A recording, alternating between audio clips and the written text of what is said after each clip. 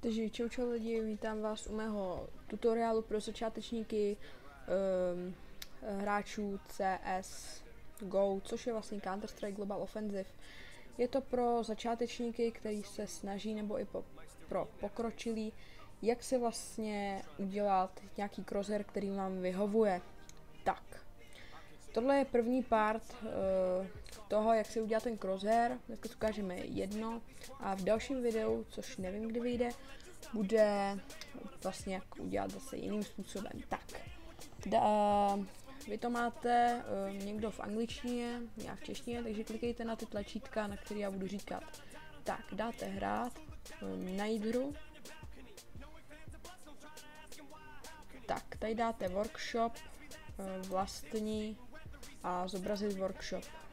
Tak, v tom workshopu si tady do uh, tady toho políčka napíšete cross hair, píše to cross s hair. Prostě vám to dám, tady vám to někde napíšu, e, pošlu vám tam, vlastně můžete to napsat takhle jednoduše, anebo vám pošlu jméno, jak se to přesně jmenuje. Jmenuje se to vlastně Crazy Crosshair Generator verze 2. Tady dáte odběr, nebo mělo by to být subscribe. Tak. Pak dáte tady a dáte vlastně spustit. Tak, já tady vlastně udělám menší střih a uvidíme se až ve hře, takže zatím. Takže jsem tu, vidíte to, jsem tady, tak. Koupíme si třeba, já nevím, koupíme si třeba M4. Hraju to na minimální detaily, abych to mohl vlastně natočit, aby to bylo co nejrychlejší a nejplnější. Tak, když jste tady, tak vlastně tady vidíte nějaké crosshairy vzadu, Tady vepředu vidíte vlastně crosshairy týmu. Možná už to mají dneska jinak, ale pořád takhle vidíte, že se vám to prostě změní. Tak. Třeba tady má Scream, kdo nezná, tak je hodně pozadu. Tak. Já třeba používám tuto tečku, ale víte, že se hejbe. Počkej, dá se třeba nějakého crosshairu. Víte, že se hejbe. Což mě třeba vůbec, teď se spalnuli, protože se to, proto se to laglo. Tak vlastně, mm, se hejbe, jako des, des, des s tím zabije určitě, ale hejbe se, takový nemotorný, mně se to moc teda nelíbí. Tak, vlastně můžete si tady vybrat tento, tento, tento. Dvojka je, který se hejbe, trojka je, který se hejbe také, pětka se taky hejbe, když střílíte, ale nejlepší je asi čtyřka, ta se prostě vůbec nehejbe.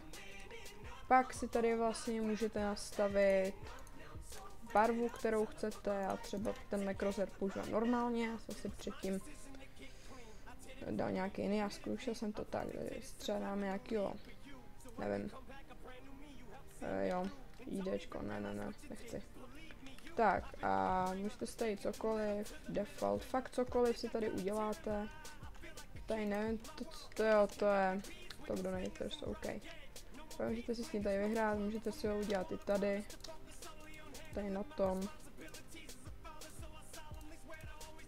Třeba gap si vyberete, když dáte třeba minus 20, tak vidíte, že se ten crosshair fakt třeba minus 10.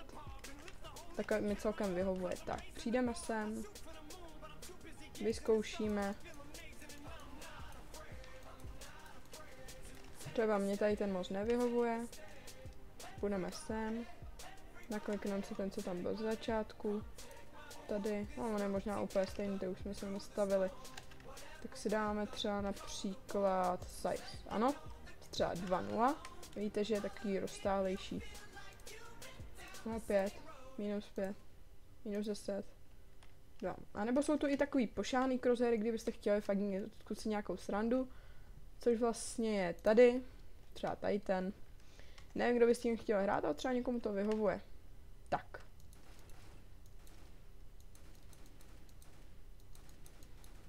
Tak vlastně doufám, že se vám tohleto video pro začátečníky líbilo. Um, nejde mi o to, abych tam měl lajky, jde mi o to, aby se na to koukli ty začátečníci, kteří uh, začínají s touhletou hrou, Counter-Strike Global Offensive, a ať jim to pomůže. Takže uvidíme se v dalším díle a mějte se hezky.